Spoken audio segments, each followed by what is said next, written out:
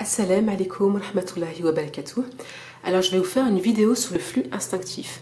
C'est une vidéo que je ferai en deux euh, parties. Une partie que je fais maintenant suite à six mois de, de période menstruelle. Et une autre partie que je ferai plus tard, euh, je pense après euh, un an, deux ans, voire plus ou moins de pratique, Inch'Allah. Donc pour commencer, je voulais vous parler de, de moi. La première fois que j'ai eu mes règles. Euh, j'ai eu mes règles euh, quand j'avais 12 ans et demi pour la première fois.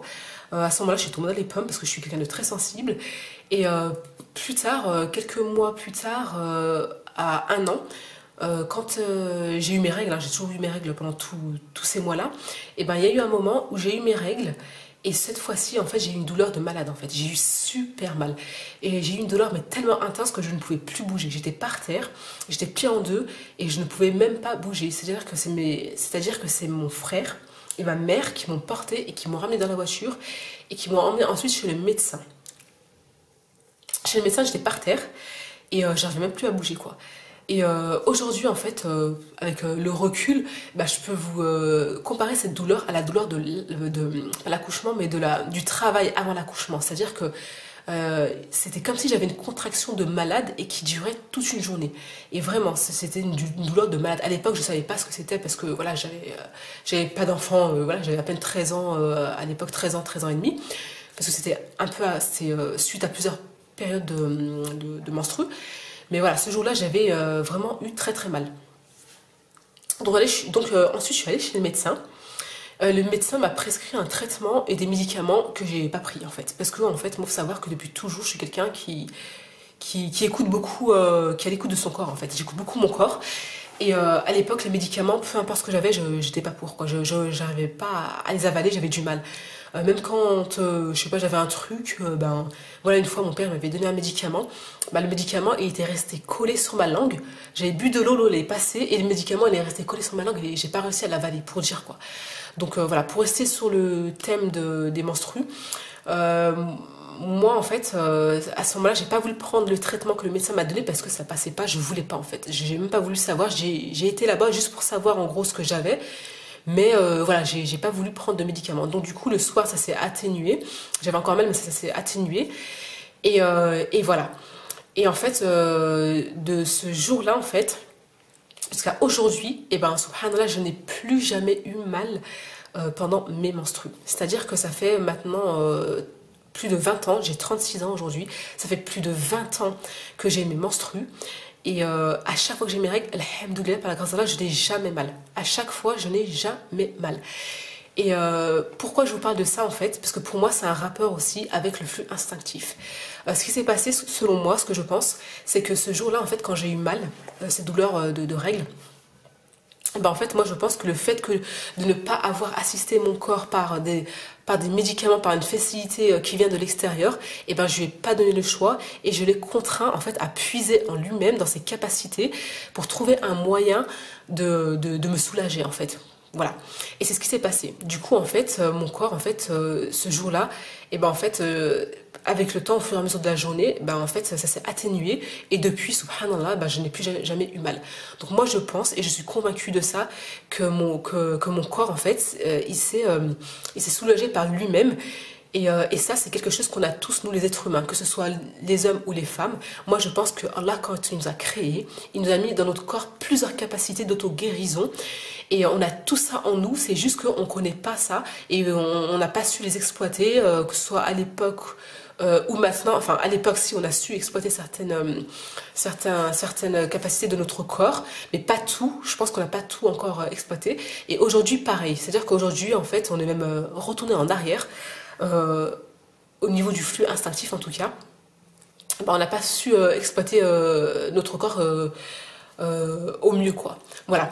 Donc euh, voilà, moi je pense que, que c'est lié en fait au flux instinctif dans le sens où c'est quelque chose qui est dans notre corps, qui est en nous et qu'en fait on peut faire euh, sans aide extérieure, qu'on peut maîtriser, qu'on peut, enfin qu'on peut, comment dire, qu'on peut maîtriser sans, sans avoir besoin de, médicaments dans le cas où on tombe malade ou sans avoir besoin, avoir recours à, des euh, protections ou autres dans le cas du flux instinctif. Donc le flux instinctif, qu'est-ce que c'est? C'est le fait en fait de détecter euh, le moment, de savoir, enfin de se recentrer sur soi-même et de savoir détecter les signes avant-coureurs qui nous indiquent à quel moment en fait notre, notre utérus va se contracter et il va en fait euh, évacuer le sang menstruel. Voilà, c'est ça le flux instinctif, c'est ça. C'est de savoir euh, reconnaître ce, ces, signes-là en fait. Et une fois qu'on a reconnu ça, et ben en fait on va se retenir euh, le temps qu'il faut, quelques secondes ou quelques minutes, voire euh, une heure quand on n'a pas le choix, mais c'est pas euh, recommandé de trop se retenir trop longtemps, et ben on va se retenir en contractant le vagin et en allant au WC pour se décontracter et évacuer le flux. Donc, le flux instinctif, si vous voulez, je vous ai donné un exemple par rapport à mes premières menstrues sur un autre, aspect de ma vie, enfin, sur la capacité que notre corps il a à, à s'autogérer lui-même. Et euh, je vais vous donner un autre exemple sur, euh, par exemple, euh, que, tout le monde a, pratiquement tout le monde a connu.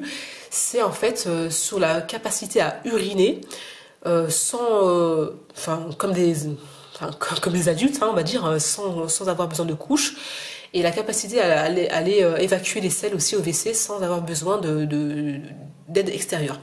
Donc quand on est enfant, c'est exactement la même chose qui se passe en fait. Quand on est enfant, quand on va uriner, au début on a besoin, alors qu'il y a des enfants, on a besoin entre guillemets, mais pas tout le monde, parce qu'il y a des enfants qui mettent pas de couches. Mais ici en Occident, en tout cas, on met des couches aux enfants. Et quand ils sont petits, on leur met des couches pour qu'ils euh, euh urinent pas de partout, hein, d'accord? On leur met des couches. Et euh, pour, les rendre propres par la suite, on leur enlève les couches à l'âge de 1 an, 2 ans, ou un peu plus, ça dépend de, des enfants en fait. Voilà. Et quand on leur enlève la couche, qu'est-ce qui se passe? Il se passe exactement la même chose que ce qu'une femme va faire à la, à, la, puberté quand elle voudra faire le flux instinctif. Il va se passer une transition, c'est-à-dire qu'il va se passer un moment où elle va, elle va falloir en fait, euh, comment dire, euh, euh, apprendre, voilà, apprendre euh, à utiliser son corps. Voilà. Donc l'enfant, quand il arrête de, de, mettre des couches, et eh ben qu'est-ce qu'il va faire? Il va arrêter de faire pipi en fait dans la couche. Et ce qui va se passer, c'est que le, temps de transition, eh ben, il va faire pipi sur lui, ou bien quand il va aller au WC, il va courir, des fois il va faire moitié par terre, moitié au WC, etc.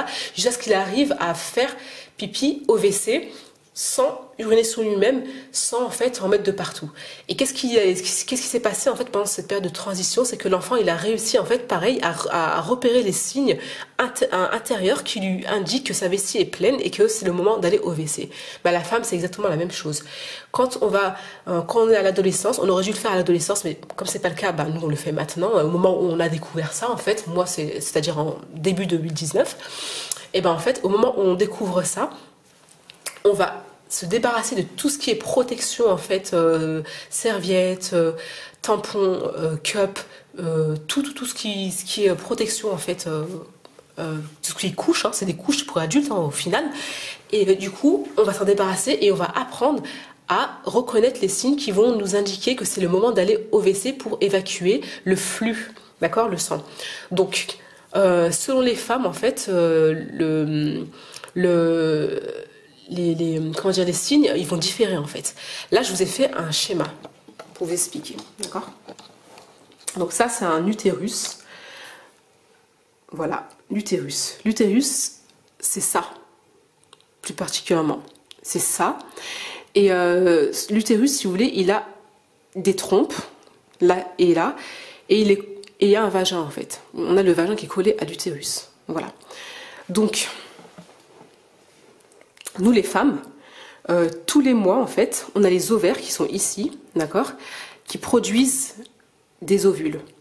L'ovule en fait, elle va aller dans la trompe et elle va passer par ici. Quand on est marié et qu'on veut faire des enfants, et eh ben en fait, qu'est-ce qui va se passer, c'est que l'enfant, il va grandir, enfin l'œuf, l'ovule, elle va venir ici féconder, euh, elle va grandir dans l'utérus et du coup, bah, on aura un enfant plus tard. Et quand euh, l'ovule n'a pas été euh, fécondé, et ben en fait euh, là en fait l'ovule va fondre, elle va mourir, hein, voilà. Et euh, dans l'utérus, la paroi en fait utérine, c'est ça. Et ben en fait elle va, elle va en fait comment dire Sur la paroi utérine, on a l'endomètre. Là, en fait, c'est du sang avec des tissus et d'autres choses qui sont composées là-dedans, mais on, va dire le sang. Et du coup, ça va se décoller, en fait. Tous les mois, ça va se décoller. Et c'est à ce moment-là, en fait, qu'on va ressentir la crampe. Quand le sang il se décolle, enfin, quand l'utérus, va, elle va se, l'utérus va se contracter, et eh ben on va ressentir une crampe. Et cette crampe-là va faire que le sang, il va se décoller et il va passer ici. Il va passer ici par le vagin et va sortir à l'extérieur. Voilà. Eh ben nous en fait ce qu'on doit faire c'est ça, c'est qu'on doit ressentir en fait les symptômes qui nous indiquent à quel moment l'utérus il va se contracter. Et quand on a ressenti ça, et eh ben en fait on va contracter. Le but en fait c'est de contracter le vagin ici, de le contracter et euh, pour pouvoir avoir le temps en fait d'aller au WC, d'uriner et de faire euh, d'uriner. Oui, on peut uriner aussi en même temps. Euh, et euh, le but c'est d'avoir le temps d'aller au WC et de et de et d'évacuer en fait le sang. Voilà. Donc au début, quand vous avez fait l'exercice, au début, ça va être très difficile. Hein. Moi, je, vous dis, c'était très difficile pour moi en tout cas, parce que comme on n'a pas l'habitude en fait de, de de, se focaliser, focaliser sur l'utérus, de se, recentrer, concentrer plutôt sur cette partie de notre corps, et eh ben, au début, en fait, nous, on va aller au WC quand le sang, on va le ressentir au niveau des lèvres, ici. Voilà. Quand on va sentir le sang au niveau des lèvres, ben, c'est à ce moment-là qu'on va aller au WC. Mais en fait, ce qu'on peut faire, c'est que on va exercer notre, notre, on va se concentrer, recentrer euh, euh, par la méditation interne, c'est une des possibilités, mais aussi par des exercices en fait qu'on peut faire. On va se recentrer sur le vagin et on va faire en sorte d'être, euh, comment dire, de développer notre sensibilité à ce niveau-là. Voilà. Et euh, il y a plusieurs manières de faire. Vous pouvez trouver sur internet, vous tapez en fait euh, exercice pour muscler le périnée ou autre. Mais moi, je vais vous parler des, des manières que moi je fais. J'en ai deux. Euh, une que je fais, ben, j'ai fait ben, depuis euh, après l'accouchement, hein, que j'ai faite euh, après l'accouchement, c'est les exercices de musculature du musculation du périnée, je sais pas comment ça se dit, et une que je fais depuis le début de l'année, et je vais vous en parler maintenant. Donc, c'est des exercices que vous devez faire pour muscler le périnée. Le périnée, qu'est-ce que c'est? Alors le périnée, c'est ça c'est un ensemble de muscles. Il n'y a pas que des muscles dans le périnée, mais là, nous, on va se focaliser sur les muscles parce que c'est ça qui nous importe pour euh, pouvoir en fait euh, bien exercer le flux instinctif. Donc le périnée, c'est tous les muscles en fait qui se retrouvent. Enfin, c'est plusieurs muscles qui se retrouvent autour là de l'anus. Voilà. Vous avez euh, le muscle là qui est transversal, vous avez le muscle aussi qui est autour du vagin autour de l'urètre aussi. Et en fait, quand vous allez muscler tous ces ensemble, il y a le muscle pelvien, enfin le muscle pelvien, c'est pas le muscle pelvien, c'est le plancher pelvien, et le plancher pelvien et le, périnée, c'est la même chose en fait. Et vous avez plusieurs muscles aussi hein, qui sont là, qui, constituent cet ensemble en fait, là, ça constitue le muscle, euh, comment dire, ça constitue le, plancher pelvien, j'ai un peu de, dévié à droite. Ça, constitue le plancher pelvien et du coup, en fait, euh, vous allez euh, travailler tous ces muscles-là. Donc, pour ce faire, comme je vous disais, vous allez faire des exercices sans rien, d'accord Sans Z externe, je veux dire. Et... Euh, oh zut, pas de dévier avec ma caméra. Donc vous allez muscler tous ces muscles-là en fait sans aide externe et vous allez faire en fait des contractions et des décontractions. Vous allez contracter et décontracter vos muscles euh, dans un premier temps, voilà, c'est une manière de faire. Et sinon, vous avez une deuxième manière de faire, c'est l'utilisation de l'œuf yoni. C'est un œuf en fait que vous allez insérer dans le vagin et avec le vagin vous allez pareil serrer, contracter et décontracter et selon euh, en fait euh, les exercices que vous allez faire avec l'œuf yoni, je vous laisserai aussi regarder sur internet œuf yoni les différentes les différents exercices et les différentes utilisations, d'accord? Et du coup en fait vous allez voir que l'œuf il va monter, il va descendre, et euh, au bout d'un moment, plus tard, hein, même euh, si vous êtes euh, bien assidu, ben, au bout d'un moment, vous, allez voir, vous allez pouvoir réussir à le faire tourner sur lui-même apparemment. Moi, j'en suis pas là. juste le monter et le descendre, c'est déjà pas mal. C'est ce que je fais donc.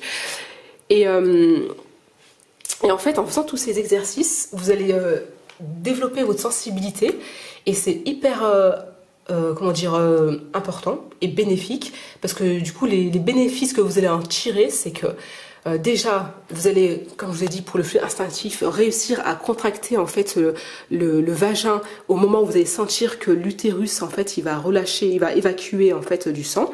Donc vous aurez le temps de le contracter et de le garder resserrer plus ou moins longtemps, le temps d'aller au WC. Et vous avez aussi d'autres effets bénéfiques en fait, c'est que pour les femmes en fait qui sont qui sont incontinentes urinaires qui ont des problèmes, en fait, bah pareil, vous allez muscler votre muscle. En fait, les muscles, ils sont tous liés. Vous allez muscler le muscle qui se retrouve autour de l'urètre. Et pareil, vous allez réussir du coup à, à, vous retenir. Et euh, pour aussi les femmes qui sont, euh, qui sont mariées, et eh ben voilà, euh, vous avez plein d'autres avantages intimes. Hein. Vous pouvez regarder sur internet, comme je vous ai dit, l'utilisation de, de l'œuf yoni. Et, et, pareil pour la, les bénéfices qu'il y a à muscler et, être beaucoup plus sensible au niveau du, du périnée. Donc euh, voilà. Moi alors euh, comment j'ai euh, commencé le flux instinctif. comme je vous disais, bah, moi c'était c'était à ce niveau-là que je sentais en fait le, flux qui coulait. J'ai vraiment galéré, hein. franchement. Euh, au début, je me disais, ouais, moi je suis quelqu'un de très sensible, euh, je suis très nature, etc. Ça va être euh, assez facile, je pense, pour moi. Mais non, en fait, comme c'est une partie de notre corps qu'on n'a pas l'habitude, voilà, comme de, de, de travailler ou de, comment dire, de, de percevoir, en fait, hein, intérieurement que, que intérieurement. Parce que extérieurement euh, c'est bah si on peut voir euh, avec un miroir et tout. Mais bon bref c'est pas une partie sur laquelle on s'est beaucoup focalisé ou arrêté. Donc du coup en fait euh, bah, pour moi c'était comme une première et c'était une première. Et du coup j'ai dû vraiment travailler dessus. Donc au début le premier mois qu'est-ce que j'ai fait? Moi je je, me suis mise à la maison toute seule. J'étais toute seule. J'avais pas mes enfants. J'ai reçu personne à la maison. Je suis pas sortie de chez moi. Et je voulais vraiment me concentrer sur ça. Donc du coup, les premiers, euh, les premiers, euh, les premiers jours, le premier jour et le deuxième jour, c'est là où le flux est pour moi le plus important. Donc du coup, c'était vraiment la galère. J'allais au WC toutes les 15 minutes. Et même entre ces 15 minutes, avait des petites gouttes qui, euh, qui, qui, qui tombaient, qui coulaient, quoi parce qu'en fait, euh, oui, ça tombait parce qu'en fait, j'avais un peignoir, j'avais un long peignoir qui arrivait au genou, j'avais rien mis en fait euh, en dessous. Euh, et, c'est important de rien mettre pour que en fait votre corps comprenne qu'en fait à ce niveau-là, parce que c'est pas que des exercices à faire, c'est aussi, c'est aussi psychique, c'est-à-dire que votre corps, si vous mettez une protection, si vous mettez quelque chose, votre corps eh ben euh, votre cerveau il comprend qu'il y a quelque chose et qu'il a assisté, il va être feignant, il va rien faire. Du coup, il va euh, il va pas chercher à, à, se retenir ou quoi. Moi, du coup, dans mon cas, j'ai rien mis au début. À la fin, vous pourrez mettre, mais je vous expliquerai euh, par la suite pourquoi. Donc du coup, je mettais rien du tout et du coup je galérais parce que c'était à ce niveau-là que je sentais en fait euh, le sang. J'ai pas senti euh, à, ce niveau-là en fait au début de euh, comment dire à l'entrée de l'utérus et au début du vagin, je sentais rien du tout.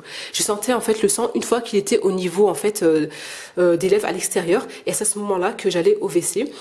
Et, et voilà. Par contre, une fois que j'étais au WC en fait, et ben en fait par contre je sentais un flux qui coulait. Voilà, ça je sentais que ça coulait beaucoup plus que quand euh, j'étais par exemple dans, mon salon ou en train de faire la vaisselle ou quoi, parce que parfois euh, voilà il y a des petites gouttes qui coulent, euh, qui tombent, hein. des fois ça tombe par terre.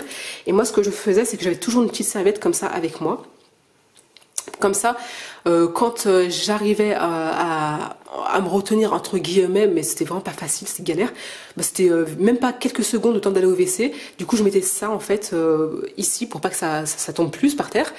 Et puis aussi, sinon, bah, quand ça tombait par terre, bah voilà, je, suis avec une éponge et puis basta quoi. Voilà. Donc au début, je vous préviens, c'est galère. Toutes les 15 minutes, ça coule tout le temps. Moi, j'étais vraiment découragée. Je me suis même demandé si j'allais réussir à y faire. Euh, c'était vraiment. Et pourtant, moi, je suis pas quelqu'un qui baisse les bras comme ça, mais vraiment, je me suis dit, mais, est-ce que ça existe vraiment? Est-ce que ça marche vraiment et tout? Et en fait, oui, le premier mois, c'est dur, mais faut le faire. C'est juste que votre corps, votre corps, votre cerveau, il faut qu'il comprenne qu'il y, a eu un changement et qu'il va, il va falloir faire autrement à partir de maintenant. Voilà. Donc le deuxième mois, euh, ça a été euh, mieux, c'est-à-dire que ça a été plutôt des demi-heures. Le troisième mois, le quatrième mois, pareil, 40 minutes, une heure. Et là, en fait, le sixième mois, c'était ce mois-ci et bah subhanallah j'ai réussi deux heures. C'est à dire que pendant deux heures et, je parle des premiers jours où c'est le plus abondant abondant et ben pendant deux heures je n'avais plus rien qui coulait. C'est à dire que euh, je m'étais euh, je m'étais euh, oui bah, à, partir du du la quatrième cinquième période de, de menstru j'ai commencé à mettre des culottes normales normales. Je, au début, je mettais rien, mais après, j'ai commencé à mettre des culottes normales. Et euh, là, en fait, euh, ça a commencé, enfin, mon corps, il a commencé à s'habituer. Et du coup, en fait, euh, la, péri la période en fait d'écoulement, et ben en fait euh, la période entre les deux écoulements pardon et ben était de plus en plus longue. C'est-à-dire qu'au début c'était comme je vous ai dit c'était galère c'était toutes les 15 minutes. Et ben là maintenant j'en suis à 2 heures. C'est-à-dire que quand je, vais au WC et que euh, et que mon sang il s'écoule déjà pour commencer le sang qui s'écoule vraiment ça fait ça fait comme un robinet. Vraiment c'est hallucinant. Pendant 2 heures j'ai rien du tout les deux premiers jours où le flux est le plus abondant, eh ben, j'arrive à rester deux heures sans aucun écoulement et je sens instinctivement que je dois aller au WC. Et quand je vais au WC, eh ben, j'ai vraiment, ça fait comme un robinet, ça coule quoi, comme quand on va uriner. Quand on va uriner, ça fait un fil continu d'urine, et ben là ça fait un fil continu de sang qui coule dans les WC. Et moi, subhanallah, ça, ça, me, ça me fait halluciner parce que je, je, je pensais pas que ça pouvait exister, je pensais pas que je pouvais faire ça comme ça. Et euh, autre chose que je voulais dire, dans mon cas à moi, c'est que là, ce que je vais expliquer, c'est ce qu'il faut faire euh, en général pour débuter. Mais même si, moi je suis persuadée que même si on ne fait pas les exercices en fait de musculation du, euh, du, périnée, et eh ben, je suis persuadée qu'on peut quand même réussir à retenir le, flux et aller au WC. Pourquoi? Parce que ce mois-ci en fait, le mois dernier ça me l'a fait, mais plus ce mois-ci, euh, et j'étais, euh, ce mois-ci, j'étais vraiment très très très occupée en fait euh, avec le programme de mes enfants, avec une future formation que je vais commencer, etc. Bref, j'étais vraiment, j'ai fait beaucoup de lectures de livres. J'avais vraiment la tête ailleurs. Donc du coup, qu'est-ce que j'ai fait? C'est que j'ai mis des, j'ai mis des culottes menstruelles. Je vous en parlerai juste après. Et du coup, j'ai pas pu me concentrer sur le flux instinctif. Et ben malgré tout, j'ai pas fait d'exercice, j'ai pas fait de contraction du périnée, j'ai rien fait du tout. Et ben malgré tout ça, subhanallah, euh, pendant deux heures, j'ai réussi à chaque fois, deux heures, même plus des fois, à, ne pas avoir de, règles qui coulent. Et quand je suis allée au WC, et ben en fait, ça coulait tout d'un seul coup et j'avais plus rien. Donc ça veut dire que même sans y penser, et ben mon corps automatiquement, ben, il a, il a, il a intégré ça. C'est comme pour l'urine en fait. C'est, je vais, euh, quand je vais uriner, c'est qu'au moment où la vessie euh, elle est pleine et c'est le moment où il faut aller euh, au WC, et ben là pour le flux instinctif, ça me fait maintenant la même chose. Je sens que je vais, je suis allée au WC que au moment où il fallait évacuer et pas avant ni après quoi. Enfin après, euh, c'est pas besoin, mais voilà quoi.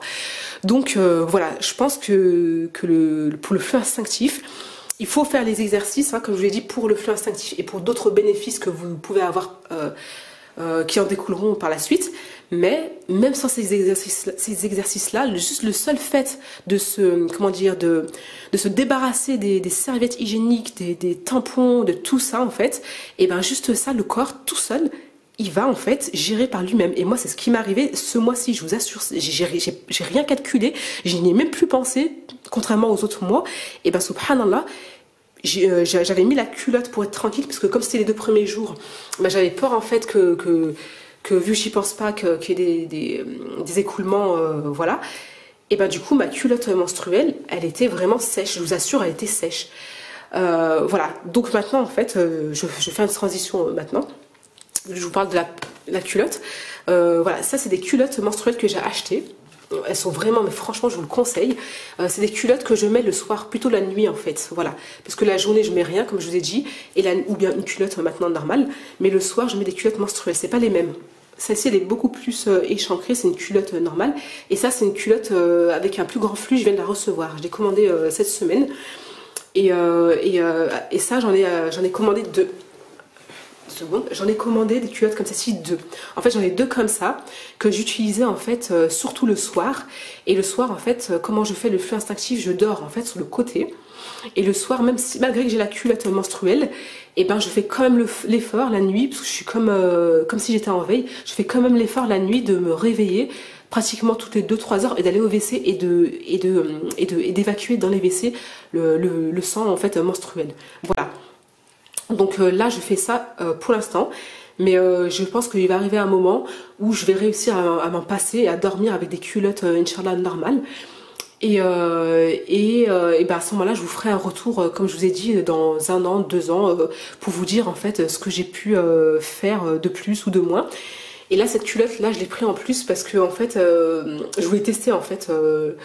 mais du coup, il n'y a, pas besoin. Il n'y a pas besoin parce que cette culotte là ça me suffit et comme là j'y arrive de mieux en mieux bah, je pense que le soir il y aura de moins en moins de, flux donc du coup euh, cette culotte là ben c'était une hipster. Une hipster, c'est quoi? C'est une culotte qui absorbe plus. Et celle-ci, c'est juste une culotte simple. C'est une culotte qui absorbe normal, quoi, en fait. Voilà.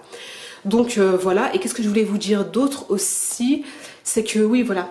vous pouvez aussi, si vous n'avez pas les moyens d'acheter une culotte menstruelle, vous pouvez acheter une serviette. C'est ça, c'est une serviette, en fait en coton bio. Je l'ai acheté en fait euh, pas très cher, j'ai acheté à peine une dizaine d'euros. Et euh, vous achetez une, serviette comme ça en coton bio et vous allez découper plusieurs en fait euh, parties, plusieurs parties. Et en fait vous allez les plier et vous allez les mettre en fait dans, sur une culotte normale. Vous allez plier et voilà en fait du coup en fait vous vous en servez à la place d'une culotte menstruelle. Et euh, en fait, ça, euh, faut pas avoir peur parce que du coup, au fur et à mesure du temps que vous allez euh, que vous allez vous exercer, et eh ben en fait, vous aurez de moins en moins de sang. C'est-à-dire que même moi, comme je vous ai expliqué, là maintenant, ma culotte menstruelle, maintenant, elle est vraiment sec. Elle est vraiment sec. il y a deux trois petites gouttes qui se courent après, mais je veux dire, elle, elle, est vraiment pas humide, quoi, rien du tout. Voilà, donc ça c'est une première chose que je voulais vous dire. Donc Inch'Allah, je vous ferai un retour par la suite. Et autre chose que je voulais vraiment vous conseiller, c'est vraiment d'apprendre vraiment de, à, à vous, comment dire, à, euh, vous réapproprier votre corps et toutes ses capacités via vraiment, euh, comment dire, des, exercices, via des, euh, comment dire, des exercices, que vous pouvez trouver sur Internet. Et, via l'écoute aussi, la méditation, l'écoute, enfin il y a beaucoup de manières de faire. Et, et, moi, je vous en conseille aussi via des livres, des lectures, parce que moi, en ce moment, je lis, je lis pas mal. Et euh, il y a un livre que, que je lis, que j'ai acheté euh, il y a 2-3 y a, deux, trois mois, il n'y a pas longtemps. Et je l'ai lu franchement et c'est un, livre que je vous conseille vraiment surtout euh, les femmes parce que c'est un livre qui, est centré sur l'énergie sexuelle féminine et en fait ça, parle vraiment pas que de la sexualité ça parle vraiment de, l'énergie féminine parce qu'il faut savoir que nous les femmes en période de menstru c'est là où on perd le plus d'énergie et, et, ça parle de d'autres capacités que notre corps a comme celle de pouvoir arrêter les règles. Vous vous rendez compte? C'est-à-dire que les règles, c'est nécessaire, certes, mais c'est pas toujours nécessaire.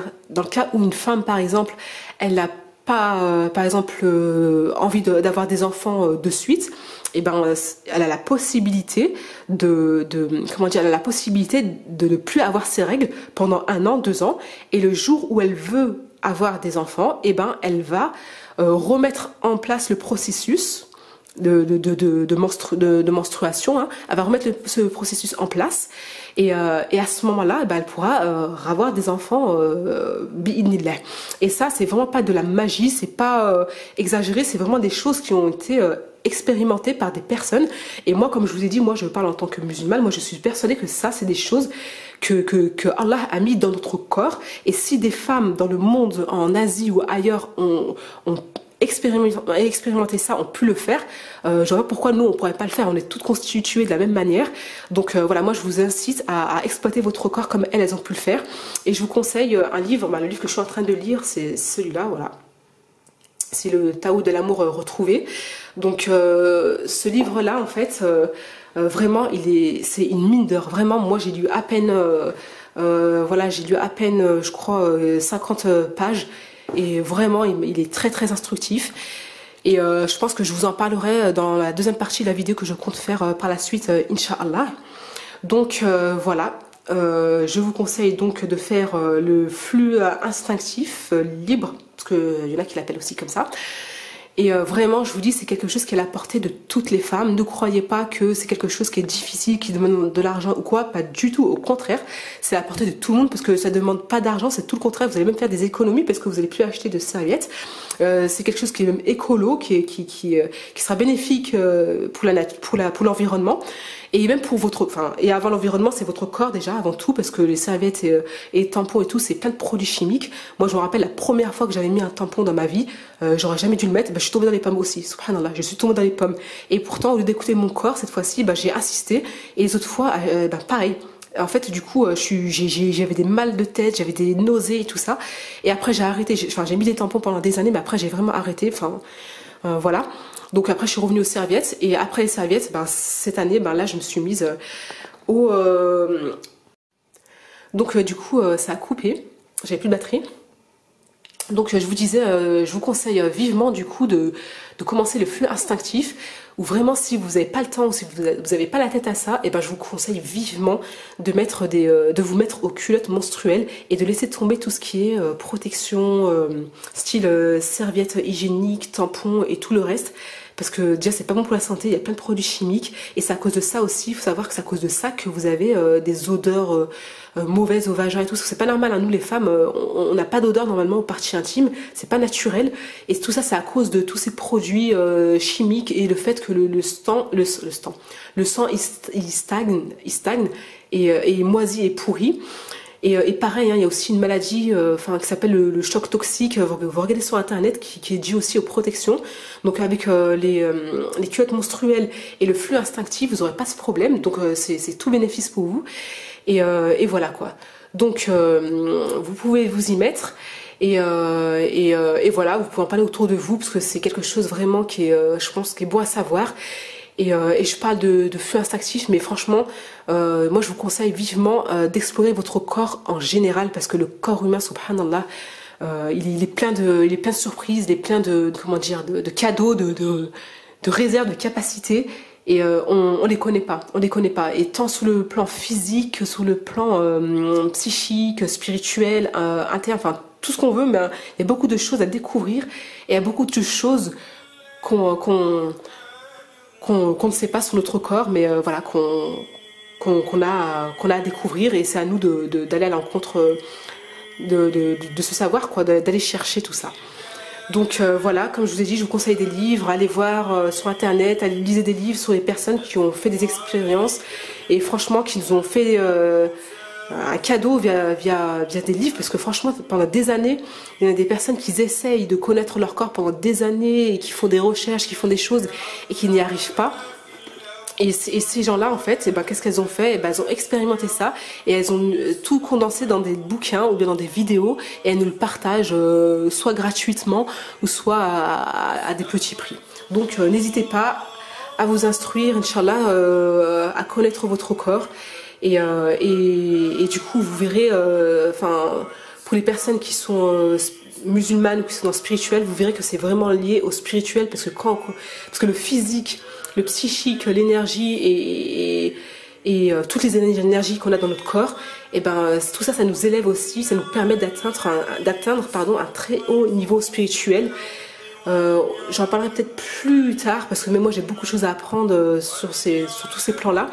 Mais voilà, en tout cas, je vous conseille, je ne vais pas parler trop parce que la vidéo va être trop longue, donc je vous conseille vraiment vivement le flux instinctif.